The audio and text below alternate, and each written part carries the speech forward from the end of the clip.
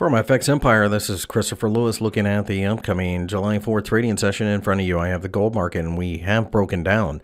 Uh, we've sliced through 1240 on Monday and even 1225. I think at this point we're probably going to go looking for the $1,200 level underneath which is major in its implications. This type of negativity uh, generally will have a little bit of a bounce, but that should only offer a selling opportunity. In fact, it's not until we break above 1240 again that I'd be willing to buy because that, of course, would show real resiliency.